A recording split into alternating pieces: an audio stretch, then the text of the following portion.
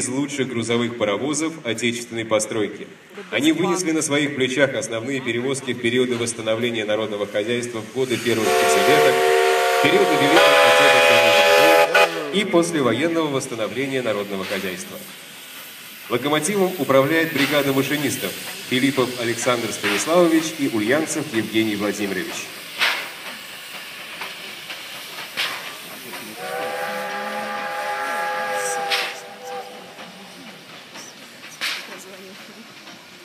Перед вами